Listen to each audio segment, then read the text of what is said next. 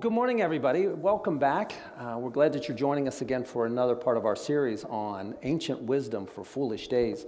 I did want you to make you aware that the sermon slides for all of these uh, messages are on the church's website, on our blog post. So if you ever kind of go back and there's something that you want to rethink about or you want to share with somebody, uh, you can go and do that. Uh, we have not only the sermon slides, but also a link to the video so that you can watch those again.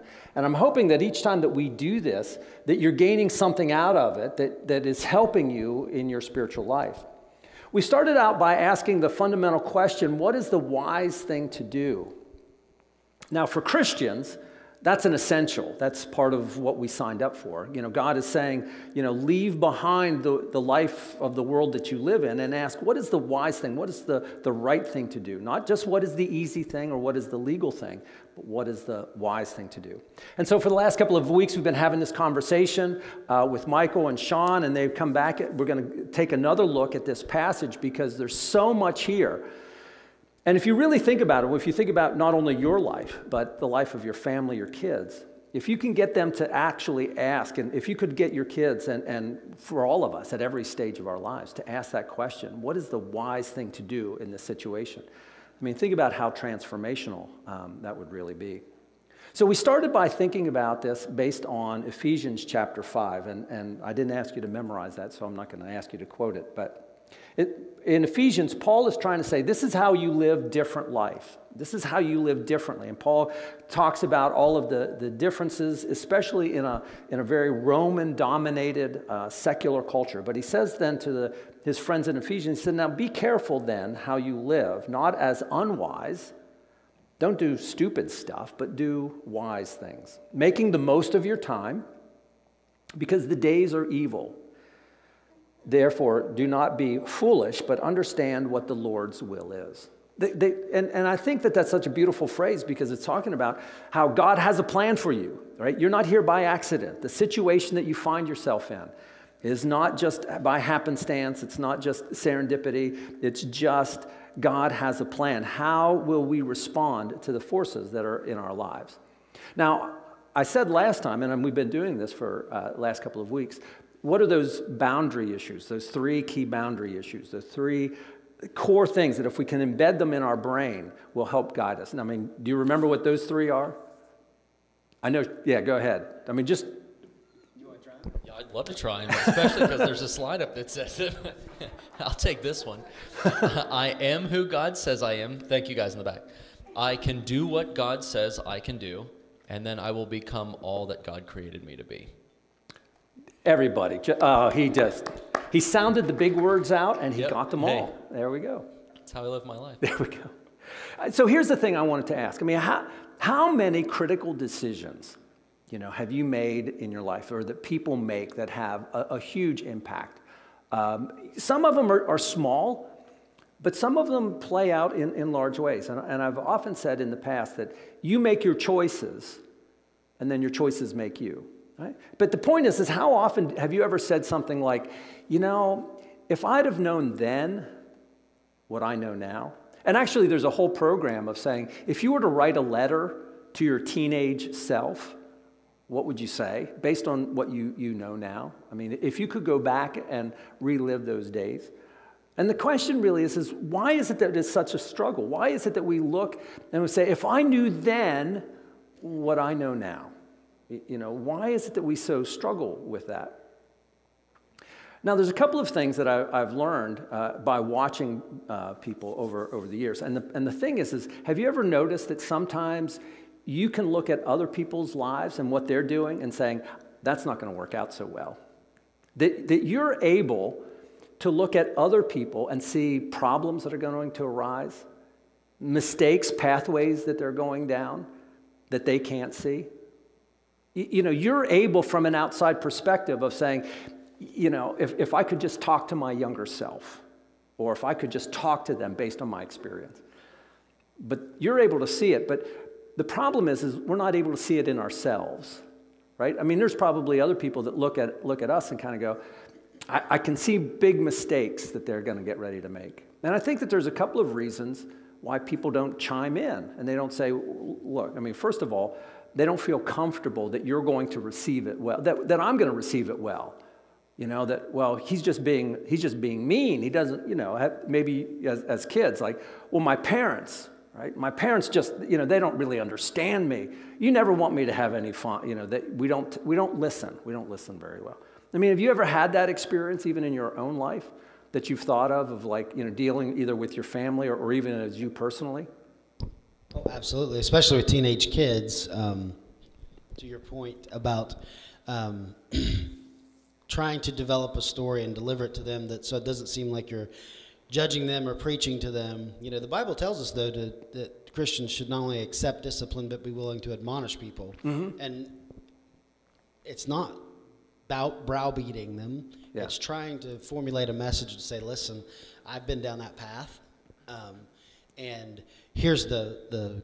potential consequences that could result from those decisions yeah. so you might want to think about those things um, you know, not to. Uh, not to bring rap into the sermon, uh, but the, you know, but it is, it is the, covered everything it else. Why it is the you know it can't be the people's poetry. Not all rap's bad, but there there's a lyric from 25, 30 years ago that says you better check yourself before you wreck yourself. And yeah. young people might understand that that every decision you make, you might want to stop and think about it and make sure you're making the right decision because yourself is the best gift that God gave you. It's the only thing you control yeah. in life is yourself. Right. And so if you don't preserve that gift, then you're going to really damage it potentially. Yeah. So that's a really interesting perspective too, because as a as a you know early 30s, I guess I'm kind of in that. I feel like I'm kind of in that transi- transitional period between. I think I know everything, and I need to. I want to learn everything. Yeah. Um, so you know, there are times in my life where like I can figure that out. Like I don't, I don't need to listen to anybody. I can figure that out. And then you get to the other side of that and go, I should have listened to what so and so told me. But then also like you know, owning our own business and having little kids too, we also are going to people like our parents and going, what do we do when they do this? Yeah. Um, so I, I am actually really interested in this topic um, because I feel like I'm kind of in limbo between those two things. I want to still believe that I you know can do all things and everything will turn out great. But what I realize is I should probably ask some people who've so been much. there before. yeah. Well, I mean, you know, I think what one of the, the, the strengths that we never, I think one of the hidden uh, gems of a, of a church or, or its deep well is if you had, now granted we're here in an empty sanctuary, but if you had 200 people, and you let's just assume that the average age is say 50, you have 10,000 years of experience, of life experience. Everything that you're going through. I, I, remember when, when we were raising our kids, and you know, the kids are, are going nuts. And I went to my mom and said, Oh, you have no idea what this is like. These kids are just, and she's like, going, Really? Really? That kind of thing. You know, in cars, they have like the, the little oil light, that, you know, it's called an idiot light. You know, the idea of like going, if you don't pay attention to it, you know, this is the fabric of, of what you're going into. So the question is, is we know, right? I mean, no, this isn't not this is not rocket science. Like we're going, don't you want to make wise decisions? If you went to teenagers and you said, don't you want to make wise, you know, would a teenager ever say, no, I, I, I'm hoping to make some, some stupid decision? No, everybody wants to do it. So why don't we do it? Why don't we do it? Well, uh, and, and this is the subject that we're going to take on, how to, how to get there. There's a couple of reasons. And the first one is, is that emotionally charged situations are horrible for making decisions. I mean, w- would you agree with that? As a matter of fact, oftentimes what they'll tell you is like for, for people, widowers, after a death or after a major life shift, don't make major decisions because they are emotionally charged. And so we understand that whenever there's a lot of emotion in this, a lot of your identity is turned, you know, especially with, with teens, you know, teens, you know, people saying, I, have I've lived a full life. I'm 17 now. I know most of what life is about. And, you know, mom and dad, you're old school. You don't understand, but I understand what's really going on. It's an emotionally charged, and it is a horrible time to make decisions because you're not making a. Re- That's where we, from people from the outside, saying, Have you ever heard somebody say, um, I don't have a horse in this race? I, I can make a decision based on what I see because whether you accept it or not, I'm going to sleep good tonight, right? I don't have anything invested in, but I'm going to tell you the truth. But here's the, here's the downside all big decisions are, are emotionally charged. Every big decision about who you are and about what you're going to do is emotionally charged. It's something about your identity. And so when we talk about teens and, and, even people our age, about you know the house that you buy or something like that. And I was actually thinking about imagine if a friend of yours came up and said, "Man, I, you know, at, at, our, at our age, and said, I want to buy this red sports car. I just, oh, I love it. It's just, it, oh, it looks great." You know, and, and I can see myself driving it. And if you go to the parking, if you go to the dealership, what do they want you to do? Take it for a test drive. See yourself in it, right? Immerse yourself in it. Emotionally get involved with it. Now, from an outsider's perspective, I'm going, why do you need that? Right? Is, oh, it's all ego. You're, you're paying for ego. I can see that, right? I mean, that's what you're paying for. It's your identity. But the person that is, oh, no, no, no, no, that's not it. That's not it. It'd just be a great, right? It's a great deal. No, it's not. You're going to be paying for this through the nose for a long time. You're paying for your ego, for your identity is enmeshed in that. Now, here's the key is that wise people know that all things are emotionally charged. So here's the question then I'm, I'm, we're going to lay out. So, what is it that you do when emotions are high and your appetite are running wild? I, I want it, right? Now, last time, what did we talk about last time? Human sexuality, emotionally charged, right? And if you don't have some guidance prior to that, you're, you're doomed, right? I mean, that was the parable that we talked about in Proverbs chapter 7. The young man's going down. He doesn't even understand. He is so intoxicated, he does not even understand that he's already going to the slaughter, already going down. So the question is, is let me ask you the question what is, what is the answer? When, a, when your teens or any of us are in a situation that is emotionally charged, and your appetites are just going wild, what is it that you can do? I've, I've learned this, and I'll, I'll uh, kind of tell you why. when we had our second um, kiddo, Olive, I have I had uh, countless patients during you know over the course of uh, Carly's pregnancy come up and say, you know, I can tell you how that happens so that you can avoid that in the future if you want to. And I don't know that that's the, the wise counsel that I was seeking, but what I've realized is um, that's kind of a funny way to explain kind of all of those emotional decisions. You know, we were we were ready for another child, so we made an emotional decision to you know expand our family. But when when talking about just everyday decisions in our lives, um, that wise counsel has a i say wise counsel because that's obviously how, how we learned about this but that wise counsel has a way of finding it finding its way to us whether we want it to or not there's always somebody there to that's willing to give us that opinion it's just whether we're ready to, to, to listen to it to hear it mm-hmm. um, or to go tell me more about that yeah. Um, not necessarily about that topic i figured that one out but um, yeah, I think just being able to, you know, and I've done this with you as well. Like, hey, Sean, can I just grab you for a couple minutes? I just want to run something by you because I know that he's got experience in that um, area of life or, or expertise. But I mean, I think, you know, just the few people sitting around here, I, I think I've done that with everybody. Hey, can I just pick your brain for a couple minutes? Um, and just being able to get a, a different perspective that's based in experience uh, or life experience. Um, gives that kind of fresh outlook so that you can separate yourself emotionally from some of those mm-hmm. decisions. You know, we're kind of doing this with our business right now. Do we want to do this? Is this an emotional decision? Does it actually get us anywhere?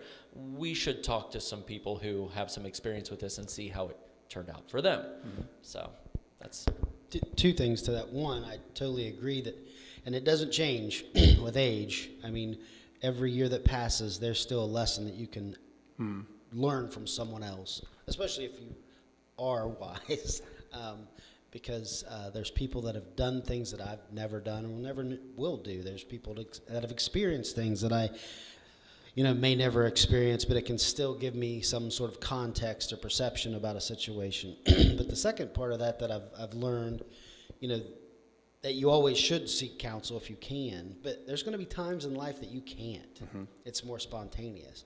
And to harken back to another contemporary colloquialism, don't press send, meaning, you know, you, you might be charged up about something and not even just face to face, and you want to send a text, you want to send an email, don't do it. But just like if you, if you and I were having an argument and, and you're pushing me to make a decision and I'm not comfortable and I know I'm emotionally charged, I try to tell other people, count to 10, step away. I mean, the other thing is just to try to um, compose yourself. You know, it's not just about seeking wise counsel, it's maybe seeking within, just taking a breath and, and uh, like I said, trying to, to pull yourself back together, at least to say, yay or nay for now, you know, whether it's the long term decision. Yeah, actually, you know, when I when I do counseling, uh, premarital counseling, I'm saying, you know, sometimes arguments between couples will spiral, and there's actually a book called The Crazy Cycle because it'll get out of control, and it's the, the idea is, is learn to to read your emotions, like. You know, I, I can feel my blood pressure rising, and, and, and we're going from discussing to shouting to, to you know, to uh, demeaning language. And it's like you, the, the only thing you can do is get away. When your emotions are high, then the conversation is dropped away, then the, the rationality is dropped away. So I want to give you one word that kind of goes to what you're saying, that is the hardest word, but it is the most powerful one for us to be able to make wise decisions and to have the confidence so that even, even if you don't change your decision, you feel more confident in the one that you're making. And that's listen just taking a moment to listen right? Now this is you know the question is is like you may be going wow pastor steve you know people never have thought of this before. This is this is new. Nobody's ever heard this kind of stuff. No i mean we've heard it. It's just it is so hard for us to do. We don't want to do it. Now i'm going to talk about uh, solomon. Now solomon was like you know when he became king after david um, God said, you know, he was a teenager at the time he became king, and God went to him and said, you know, Solomon, ask anything. And, and Solomon said, what, what, you know, give, what, whatever you want, you can have. And he said, great, I, I want a new car. I want an Xbox. I want a new iPad. No, he didn't say any of that. What he did say is he said, I see the, I see the challenges ahead of me. He said, the only thing I want is wisdom. Give me wisdom. Help me to know the right thing to do. And so God did that. And as a matter of fact, in 1 Kings chapter 4, God gave Solomon wisdom and very great insight and a breadth of understanding as measureless as the sand on the seashore. In verse 31, it says, He was wiser than anyone else, and his, spread, and his fame spread to all of the surrounding nations. Now, what that meant is all of the other kingdoms. What this wisdom means is doesn't mean that he knew how to do calculus, didn't need that he knew physics, and, or that he even knew chemistry but that he knew how to read people. He knew what people did, and he, he was able to watch people's situation. This is the one where they take, you know, the two women take the one baby to Solomon.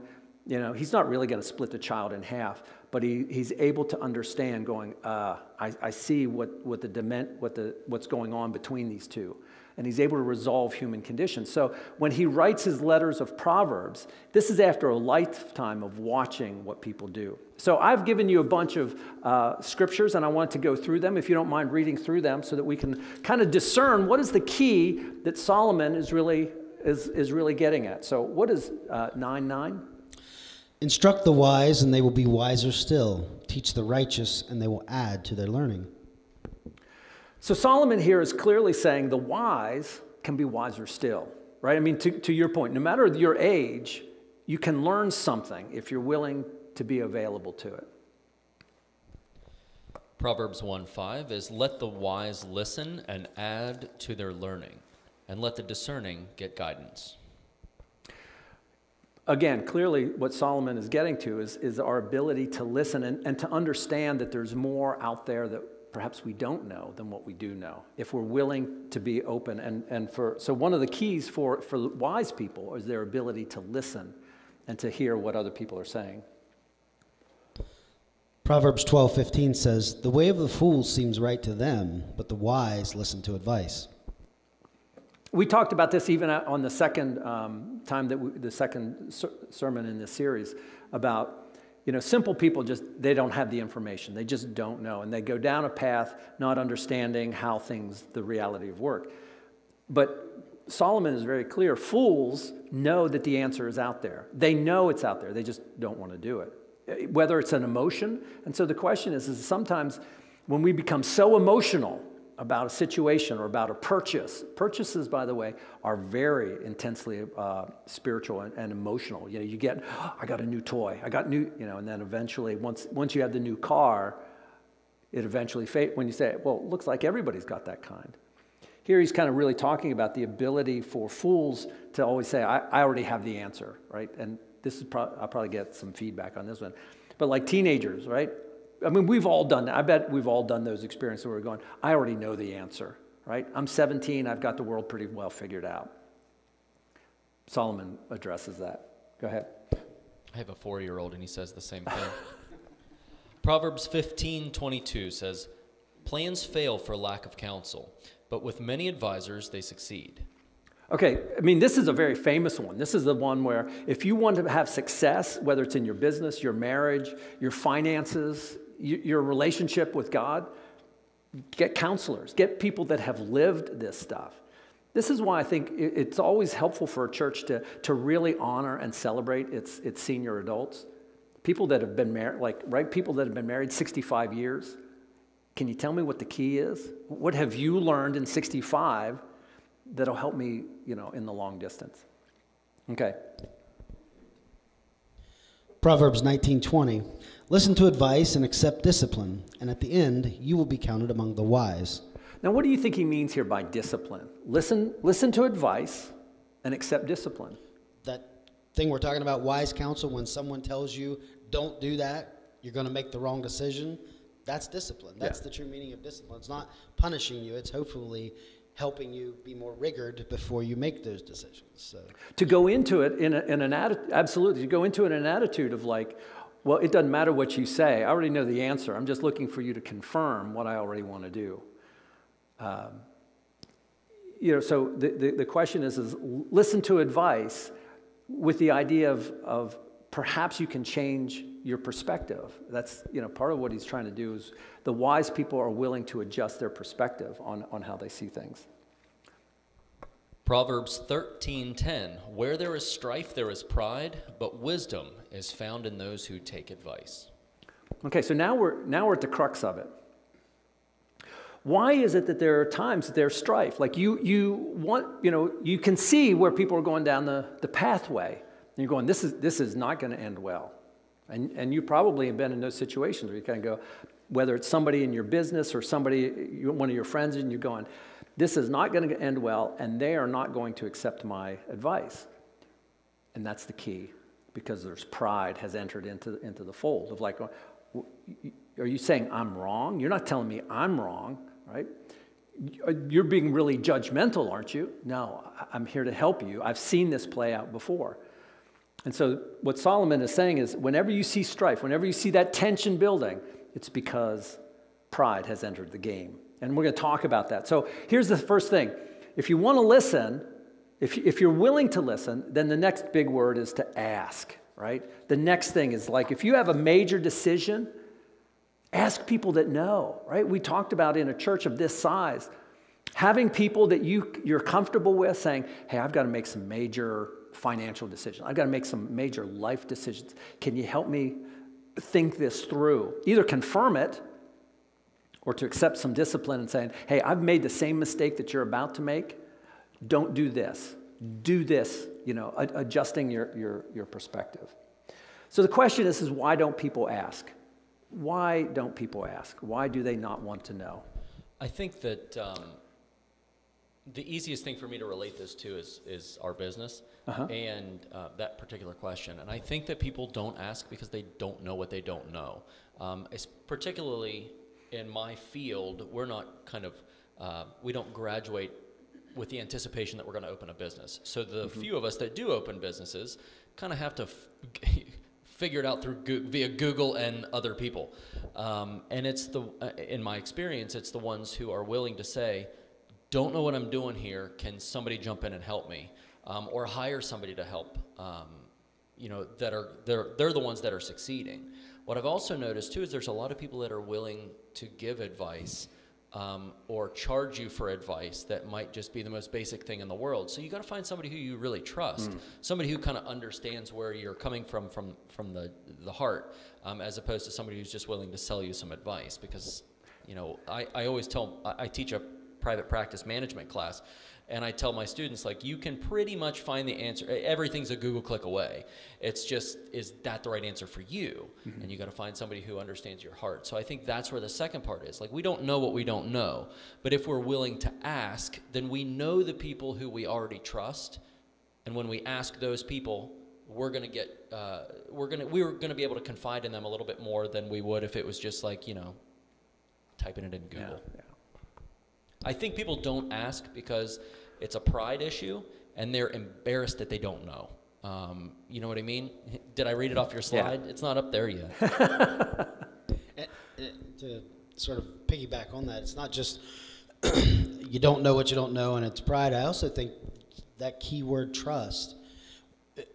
When someone doesn't truly trust another, they're afraid to ask because they think the response they're going to get for asking a stupid question is judgment or down talk instead of true advice or you know hand holding or walking through the through the decision. So yes it's pride. Yes it's not knowing but i think it's also fear um, and distrust because they're not sure that the um, voice they're about to hear is going to be one of love and compassion and patience as opposed to admonishment Let me ask you, like, as, as going back almost as teenagers, about really emotional, uh, relational situations.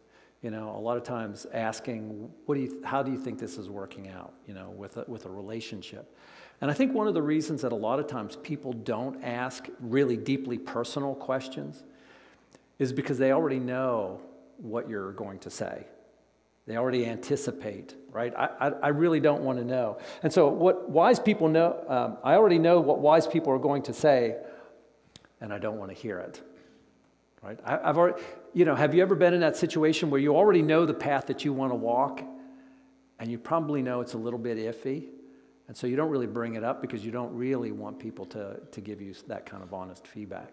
So the first thing is, is there is that sense of embarrassment sense of like going, well, I, I don't want to look foolish, right? I, I ought to know all of this stuff. And of course, the second one is that sense of individuality. I, I'll make my, especially as you kind of move into the, the teens and 20s, I know, right? I'm, I'm my own boss. I'll make my own decisions. It's, it's, it's none of your business. Leave me alone, right? I can do it myself, right? And so we say, um, this is none of your business. And maybe you've, you've dealt with that either with your family or with, with friends of like, just stay out of my business, right? And you're the one that's either with a family member or with friends that are like going, this isn't going to work out well. And it's actually going to be destructive for you and your family. But stay out of my business. Now, the, the fundamental truth of that, though, is you know, all personal decisions tend to have a public consequence. What you decide in private often gets played out in public, right? How, wh- the things that you say, it's all about me, this is my decision. That's true, but people that you love, have, it, it has an impact on them as well. And that's where I actually want to invite uh, Kyle. Kyle is going to come up. Yeah, yeah, come on up. Um, Kyle's going to tell a little bit about his story, about his transformation that he's had. Um, and this is a picture of Kyle. Actually, I took this um, this week. So this is Kyle. Um, Kyle is the grandson of Dan and Nancy Barton. Yeah, just yeah, just hang on to it. That's fine. And so Kyle had, has a, an amazing story. If you haven't ever heard Kyle's story, you really got to sit down with him uh, for longer than probably we have. But, but Kyle, tell us a little bit about your journey and the impact that it's had on your life. Well, when I was towards the end of graduating high school or just graduated high school, I was heading down the wrong road, hanging out with the wrong groups of people, uh, making a lot of bad decisions, and I got caught up in the partying and the drinking stuff, especially after high school, and made a bad decision to ride a fool with a broken frame because I wanted to go party that bad and stuff. Uh, ended up giving myself a traumatic brain injury, several bones broken, uh, but since my accident, I've never felt closer to God since all the prayer, power of prayer is definitely real. Yeah.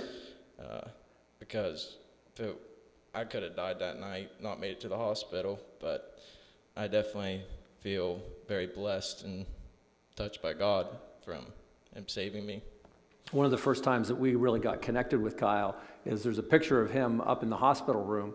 Um, that's where we met, we we first really got connected with him. It was like uh, he probably has no clue that we were there, and I know that whenever he had that accident, um, it was really touch and go, right? And then uh, whenever I was still, you know, out of it, didn't know where, you know, anything, didn't know where I was. Uh, mom thought I was having a very ser- serious spiritual battle, was fighting demons just from the stuff I was saying and doing. Yeah. and you prayed over the phone on speakerphone, and I opened up my eyes and I had a tear run down my face. Like I said, I was so out of it, I don't remember what I saw, but I told mom it was the most beautiful thing I ever saw.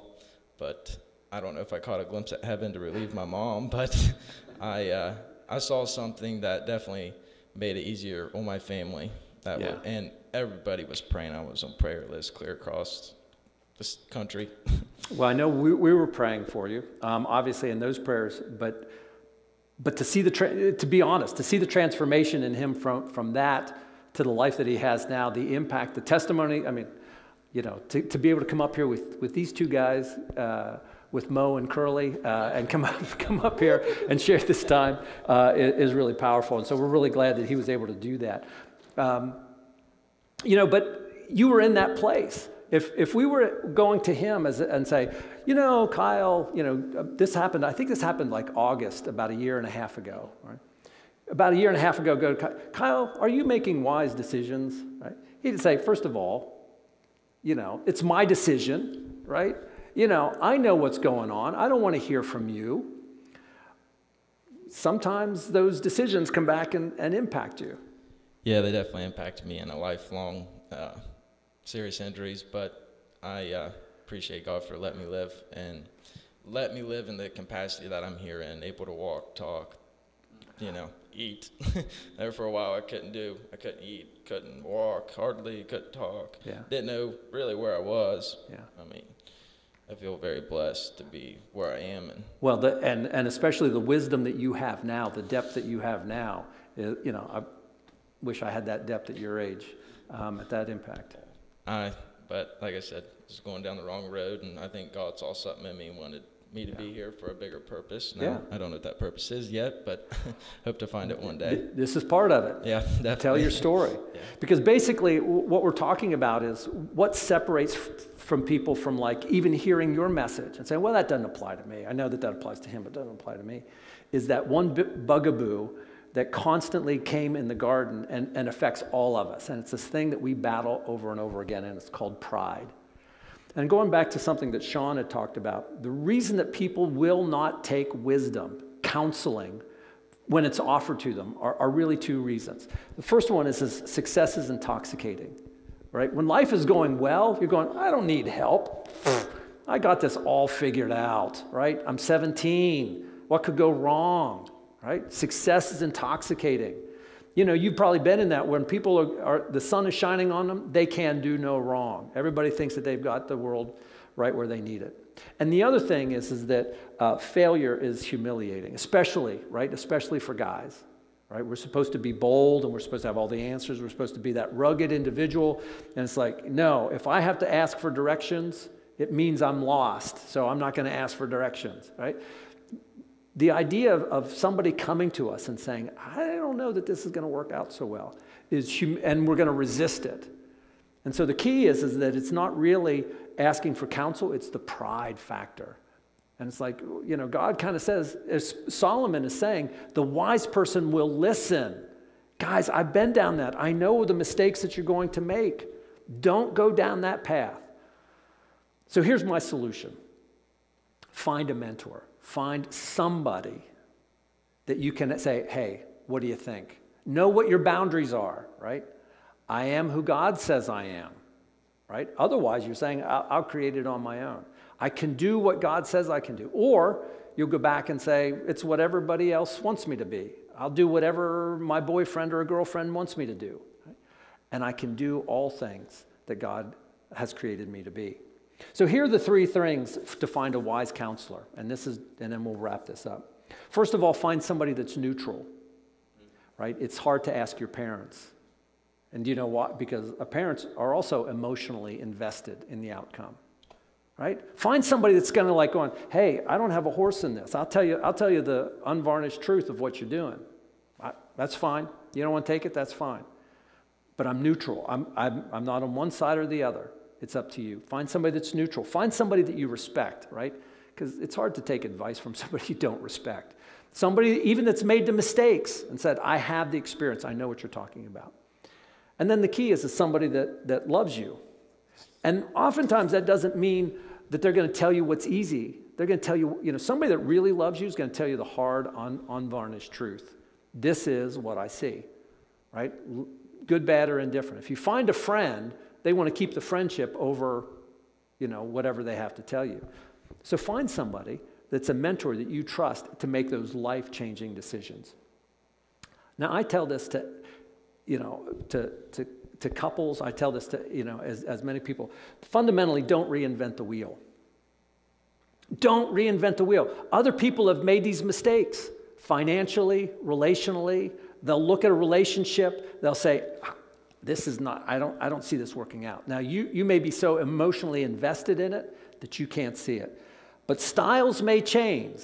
And you might say, yes, but my, my, you know, my, my parents, my mom, you know, she's old school, right? That's not the way I, yeah, the styles may change, but their purpose has not, right? Relationships always remain the same. So the key, if you want to make wise decisions, find a counselor.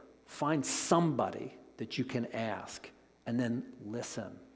So in Proverbs chapter 11, he said, Where there is no guidance, people fall. They're destroyed. But in an abundance of counselors, there is victory. And so, if we're going to live in this new age, in this new reality, in this wilderness, we need, all of us, need to come together and say, Can you tell me the unvarnished truth? Right? Can you tell me what's going on in my life? First of all, ask. Ask for advice, right? If you want to do the wise, and then listen to what they tell you. Don't be defensive. Don't say, oh, you don't understand, you don't understand. Because then you're always just trying to say, I already know what the answer is. I just want to find somebody that, that validates what I already want to do. What you want to do is find out God has a plan, and I want to find out what that plan is. Because you are always under attack from your own pride. Your own pride is going to try and separate you from the best life that God has. Well, we've taken a lot of your time, and I hope that somebody will come back, and I'm hoping that somebody listening to this is saying, We need this. We need this now more than ever. Sean, would you close this with a prayer, please? Heavenly Father, every day it could be so easy for us to get discouraged or, or um, find despair, especially given these times most recently. But there's so much to be thankful for. You've given us so many blessings. Just look at Kyle here with us today. He could be feeling sorry for himself and think about all the tragedy that's befallen him over these near lastly two years, but he is standing before these people of yours and saying he is blessed, that he has listened to you and your message, and he is searching with you and for you in this journey that he has in this hopefully long life he has yet to live. Let that be an example to us all. Let us put away pride. Let us put away fear. Let us be bold in our search for truth and wisdom. Let us be able and humble enough to take advice, to take discipline from those that love us. And may we in turn be bold enough to do that for our brothers and sisters in Christ. Thank you for your word, and thank you for surrounding us in those brothers and sisters in Christ because we alone will fail. We are human, fragile vessels, but together in your word and your body and your spirit and surrounding ourselves with others like us in your word in Christ Jesus will make us strong, will make us wise, and will do good things in your name. May we continue to do so in all that's holy. Amen.